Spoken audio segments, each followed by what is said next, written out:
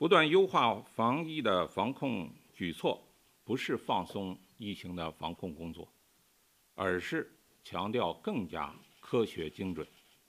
更加强调与时俱进。国务院联防联控机制举办的新闻发布会，昨天，国务院联防联控优化之后的举措啊，能够明显缓解各地疫情处置当中遇到的一些瓶颈和障碍的问题，比如说隔离资源啊相对比较紧张，隔离房间不足，另外呢流调方面压力很非常大，流调的人员也相对不足。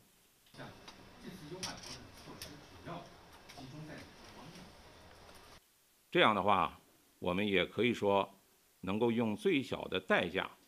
在尽可能短的时间，把疫情控制在最小的范围，能够平衡好我们疫情防控和经济社会发展之间的关系。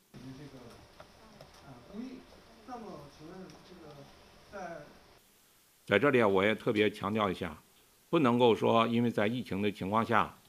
这个呃为了达到零风险，我们就推诿和拒收患者。我们讲人民至上，生命至上，是针对所有的情况的。所以，对于这部分的急诊需求，也应该保证相应的工作力量和服务资源。好，请雷海潮先生来回答这个问题。三是完善外资服务的保障体系，指导各地继续发挥好外资工作专班和应对疫情快速响应机制的作用，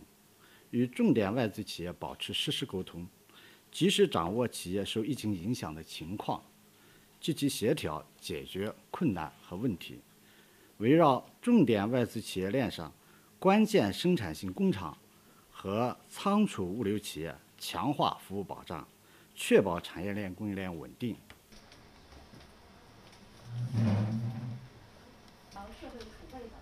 请问这个措施是否意味着不久的将来会全？二十一世纪经济方程的提问。请问对于落实二十条措施，